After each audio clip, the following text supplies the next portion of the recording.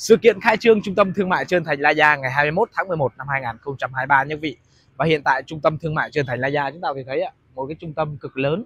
tại ngã tư Trơn Thành giao nhau với quốc lộ 13 và quốc lộ 14. Thì ở đây chúng ta có thể thấy ạ. Đó, Belamax này, rồi lẩu băng truyền, Maru Maru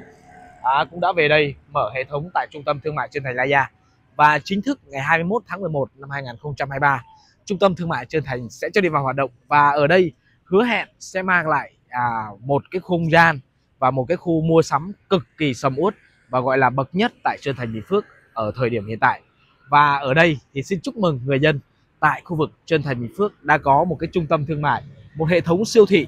và tất cả những cái dịch vụ tiện ích về đây để mở tại ngã tư Trơn Thành để cho người dân chúng ta ra đây chúng ta mua sắm, à, ăn uống và cũng như là tất cả các dịch vụ giải trí. Ở đây kết hợp có phố đêm phố đi bộ à, Trơn Thành, chợ đêm Trơn Thành và những dãy shop house trung tâm thương mại Trơn Thành La Gia tại khu vực này. Và ở đây thì đây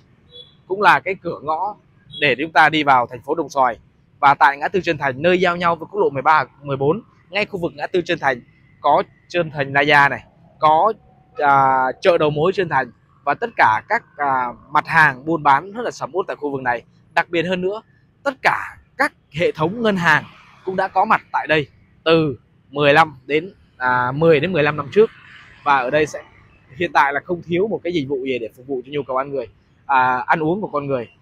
và mua sắm. Thì ở đây à, Trơn Thành cũng không khác gì cái thành phố Di An của Bình Dương cả. Quý hàng à, chúng ta nghe tới Trơn Thành Bình Phước chúng ta cảm thấy xa. Nhưng mà nếu chúng ta bước chân tới Trơn Thành thì chắc chắn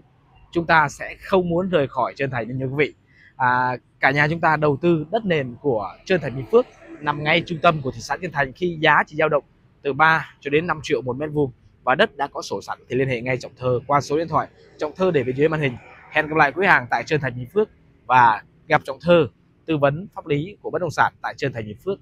xem đất và chốt nha quý vị.